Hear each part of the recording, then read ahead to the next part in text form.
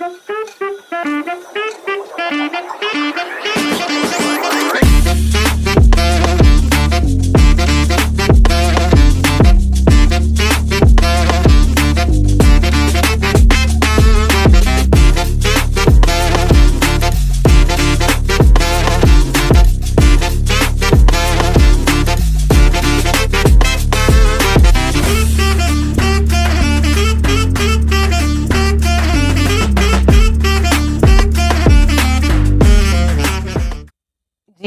Novels நேயர்களுக்கு வணக்கமும் நல்வரவும்.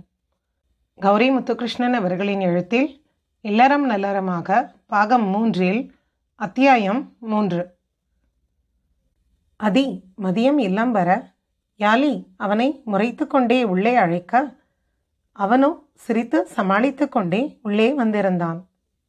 வந்தவன் அவனின் அம்மாவை பார்த்து சிறிது நேரம் பேசிவிட்டு அறை சென்று குளித்து வர யாலி கவிக்கு உணவு கொடுக்க சென்றிருந்தாள்.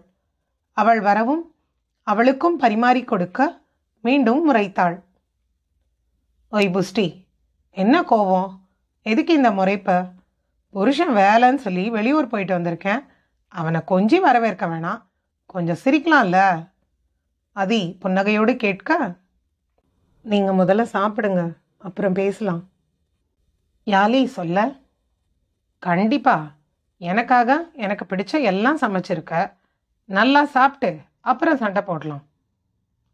அதி புன்னகையோடு சொல்ல அவள் முகத்திலும் புன்னகை வந்திருந்தது.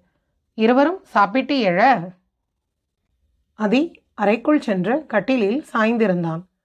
யாழி வரவும் அவளை கைப்பிடித்து பக்கத்தில் அமர வைக்க அவளோ அவன் தோளில் மெல்ல அடிக்க என்னாச்சு? எதுக்கு இந்த முறைப்பும் கோவமோ ரெண்டு நாளில் வரேன்னு சொல்லிட்டு எப்போ வரீங்க? அப்புறம் இந்த பசங்க பா நேற்று வர ஒரே சண்டை தான். நான் பேச மாட்டேன்னு சொன்னதும் தான் ரெண்டு பேரும் சண்டையை முடிச்சிருக்காங்க. அதுவும் அந்த இனிய உங்களை மாதிரியே சரியான சுடுதண்ணி. சும்மா சும்மா கை ஓங்குறான். கோவம் எப்படி வருது தெரியுமா? செழியன் பாவம் என்ன மாதிரி அப்பாவி. யாலி சொன்னதை கேட்டு அதி வாய்விட்டு சிரிக்க. யாலி அவனை உண்மையாகவே அடிக்க வர இப்போ பாரு யார் அடிக்க வர்றதுன்னு. நீ தான் சட்டுன்னு கை உங்குற ஆள். என்னையே அடிச்சிருக்க தானே? நம்ம ரெண்டு பேரோட கலவை தான் ரெண்டு பேரும். அவனுங்க சண்டைலாம் ஒரு விஷயமா? இன்னைக்கு அடிச்சுக்கிட்டு நாளைக்கு சேர்ந்து சுற்றுவாங்க நீர் அடித்து நீர் விலகுமா? அப்புறம் எனக்கு செம வேலைம்மா. உனக்கு தான் என் வேலை பற்றி தெரியும் தானே? இதுக்கெல்லாம் போய் கோவமா? கூறிவிட்டு அதி அவள் கையில் முத்தமிட தினேஷ் விஷயத்த முடிச்சு வைங்கப்பா. இந்த பசங்க முகத்தில் சிரிப்பே இல்லை. ஆல்ரெடி படிப்பில் ஆயிரம் ஸ்ட்ரெஸ். இதில் இதுவும் சேர வேண்டாம். யாலி கெஞ்சலாக கேட்க சாலி சொன்னால் செய்யாமல் இருப்பேனா? நாளைக்கு நேரடியாக கீர்த்தி வீட்டுக்கே போய் பேசுகிறேன் ஓகேவா யாலி சரியென சொல்ல அதி படுத்து உறங்கி இருந்தான். அங்கே கீர்த்தி வீட்டில். கதவை திறந்த கீர்த்தியின் முன் சுகன்யா நின்றிருந்தாள். கீர்த்தி கேள்வியாக அவளை பார்த்து வரவேற்க அவளோ உடன் இன்னொரு பெண்ணை அழைக்க? இருவரையும் ஹாலில் அமர சொல்லிவிட்டு சமையலறை செல்ல அங்கே பிரகாஷ் அவனுக்கு காஃபி போட்டுக்கொண்டு ஹால் நோக்கி வர அவனிடம் விவரம் சொல்லிவிட்டு இருவருக்கும் தண்ணீர் எடுக்கச் சென்றாள். அதற்குள் பிரகாஷ் வரவேற்றுவிட்டு அவன் அறை சென்றுவிட கீர்த்தி நீர் தர வாங்கி குடித்தவர்கள் அவளை சங்கடமாக பார்க்க ஏதோ பேச வந்திருக்கீங்க. என்னன்னு சொன்னாதானே எனக்கு விவரம் தெரியும். கீர்த்தி கேட்கவும் சுகன்யா வாய் திறந்தாள். அண்ணி இவ என் ஃப்ரெண்டு நிவேதா. இவ பொண்ணுக்கு கொஞ்சம் பிரச்சனை. முதல்ல பேய் பிடிச்சிருக்குன்னு நினச்சோம். இப்போ மனநலம் சரியில்லாமல் இருக்காளோன்னு தோணுது. எங்களுக்கு எப்படி சொல்லான்னு தெரியல.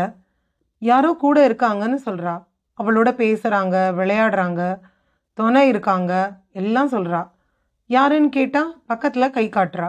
ஆனால் அங்கே யாரும் இல்லை. நாங்கள் பல முறை விசாரித்து பார்த்தோம். எங்களுக்கு என்னன்னு புரியல.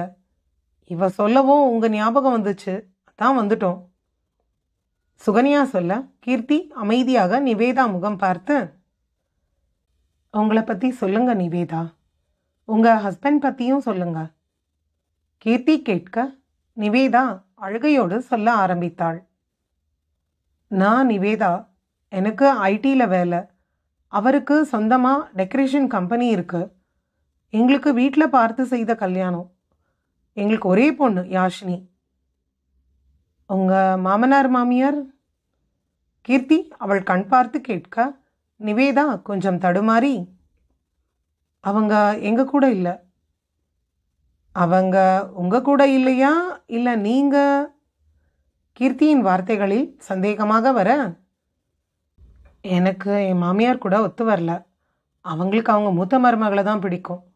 அதான் நாங்கள் தனியாக வந்துட்டோம். நிவேதா கொஞ்சம் சலிப்பையும் வெறுப்பையும் காட்ட ஓ அப்போ உங்கள் அம்மா அப்பாவாவது வருவாங்களா? கீர்த்தி கேட்க இப்போது நிவேதா முகத்தில் வெறுப்பு வந்தது. அப்பா இல்லை எனக்கு. அம்மா அண்ணன் கூட இருக்காங்க. எப்போவாவது வருவாங்க. இல்லை மாதத்தில் ஒரு முறை நான் போய் பார்த்துட்டு வருவேன். தெரியாமல் தான் கேட்குறேன் யாஷிக்கு உதவி செய்வீங்கன்னு பார்த்தா இதேதோ கேட்டுட்ருக்கீங்க நிவேதா குரலில் கோபம் இருக்க கீர்த்தி இன்னும் பொறுமையாக அடுத்த கேள்வியை கேட்டாள். யாஷினி யார் கூட இருப்பா? மேம் எதுக்கு இதெல்லாம் கேட்குறீங்க நிவேதா பேச்சில் சலிப்பை காட்ட வெறுப்பை விட்டு பதில் சொல்லுங்க நிவேதா. இது உங்க குழந்தையோட வாழ்க்கை. அவ கூட யாரும் இல்லை. ஸ்கூல் முடிஞ்சு டியூஷன் போயிடுவா. வந்து வீட்டில் ஆட்டோக்காரர் விட்டுட்டு போனால் நாங்கள் வர்ற வர தனியாக தான் இருப்பா வீட்டில் யாஷினி வயசு என்ன? ஒன்பது மேம் அவகிட்ட எப்படி நீங்கள் பேசுவீங்க? உங்களுக்கு எப்படி அவள் வீட்டுக்கு வந்தது தெரியும்? அவகிட்ட ஐஃபோன் இருக்கு. அதுவும் போக வாட்ச்மேன் ஃபோன் செஞ்சு சொல்வார். உங்கள் பொண்ணுக்கு மென்டல் டிஸார்டர் நான் அவளை நேரில் பார்க்கணும். ஹாஸ்பிட்டல் அட்ரஸ் தரேன் நாளைக்கு கூப்பிட்டு வாங்க. அவளை அதிகம் தனியாக விடாதீங்க. என்னோட கெஸ் சரியாக இருந்தால் உங்கள் பொண்ணுக்கு வந்திருக்கிறது கொஞ்சம் கஷ்டமான மனநோய் தான். கவனமாக இருங்க. கீர்த்தி அவளின் ஹாஸ்பிட்டல் அட்ரஸ் சொல்ல பிரகாஷ் அவர்களோடு வந்து அமர்ந்திருந்தான். இருவரும் விவரம் பெற்று விடை பெற அங்கு வந்த பிரதீஷ் அந்த பாப்பாக்கு என்னம்மா பிரச்சனை? பிரதீஷ் கேட்க உனக்கு எதுக்குடா அதெல்லாம்? போ போய் கிளம்பு. உன் அட்மிஷன் வேலையை முடிப்போம். என்ன குரூப் எடுக்க போற? அறிவியல். தாயே உன் வழியே என் வழி. பிரதீஷ் வசனம் பேச. டேய் வீட்டில் ஒரு பைத்தியக்கார டாக்டர் போதும். இன்னொருத்தன் வேண்டாம். ஆல்ரெடி உங்கள் அக்கா சயின்ஸ் தான். நீயாவது ஏதாவது வித்தியாசமாக படி. பிரகாஷ் அக்கறையாக சொல்ல. எனக்கு அம்மா போல மனோ தத்துவம் தான் படிக்க ஆசை. என் ஆசைப்படி படிக்க விடுங்க ரெண்டு பேரும். சரிம்மா உன் இஷ்டம் போலவே படி. உன் சர்டிஃபிகேட் எல்லாத்தையும் எடுத்து வச்சுக்க. இப்போ போய் ஒரு காப்பி போட்டுதா?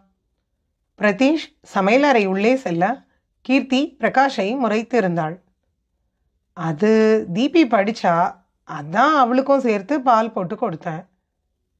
பிரகாஷ் அவ அவளோட வேலைகளை தானாக தான் செய்யணும். அன்பு பாசம்னு சொல்லி அவளை சோம்பேறியா மாற்ற வேண்டாம் ப்ளீஸ் பிரதீஷ் கூட அவனுக்கு தேவையானதை அவனே செய்கிறான் நீங்கள் ஏன் தாங்குறீங்க? உங்கள் பாசம் அவளுக்கு புதகுழி அவ்வளோதான் சொல்வேன். அவள் அவளா நிற்கணும் யாரையும் சார்ந்து வாழக்கூடாது. இது அவ்வளோ பெரிய விஷயமா கீர்த்தி? என் பொண்ணுக்கு ஒரு டம்ளர் பால் தரக்கூடாதா? எத்தனை நாளுக்கு தருவீங்க? உங்களுக்கு புரியாமல் இல்லை. ஆனாலும் நீங்கள் பாசத்தை காட்டி பேசுகிறீங்க எப்போ இருந்து இவ்வளோ எமோஷ்னலாக மாறினீங்க பிரகாஷ்? அவளை கம்ஃபர்ட் பண்ணுறேன்னு சொல்லிட்டு அவளை தானாக இயங்க விடாமல் பண்ணாதீங்க? தெரியல புலி. பிரதீஷ் அளவுக்கு அவள் சுட்டி இல்லை. சமத்து பிள்ளை. சின்னதுல இருந்தே சொன்னதை கேட்டு நடக்கிற அவளை எப்படி கலங்க விடுவேன்?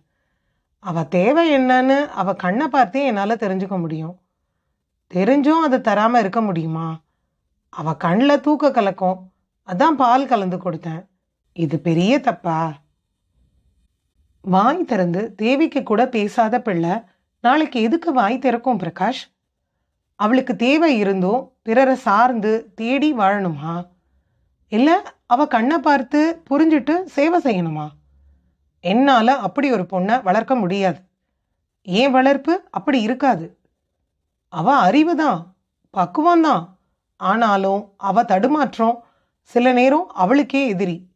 இனி ஒரு முறை உன் உதவி கேட்டோ இல்லை நீ உதவி செய்கிறதையோ பார்த்தேன் உன் பொண்ணை வெளிநாட்டுக்கு அனுப்பி தனியாக படிக்க வைப்பேன். கீர்த்தி சொல்லி முடிக்க. பிரதீஷ் காப்பி கொண்டு வர தந்தை அருகில் அமர்ந்தவன் அவன் கையிலும் காப்பி கொடுக்க வாங்கி கொண்டான். அந்த இடம் சில நிமிடம் இறுக்கமாக இருக்க அம்மா அந்த பொண்ணுக்கு என்ன பிரச்சனை? சரி பண்ண முடியுமா? சரி பண்ண முடியும். என்னால் இல்லை. அவ குடும்பத்தால் தான் முடியும்.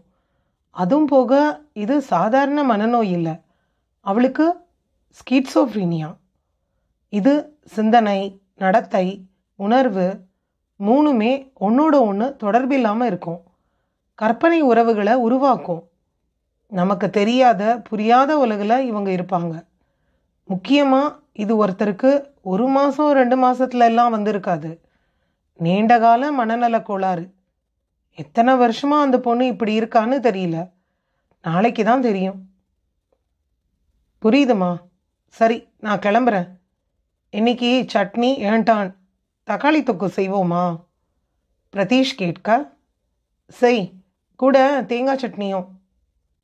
கீர்த்தி சொல்ல அவன் நகர பிரகாஷ் சாரி என்று சிறு பிள்ளை போல சொல்ல கீர்த்தி முகத்தில் புன்னகை வர அவனை கடந்து சமையலறை சென்றிருந்தாள். அத்தியாயம் மூன்று நிறைவு பெற்றது. அன்பு அனைத்தும் செய்யும். நன்றி.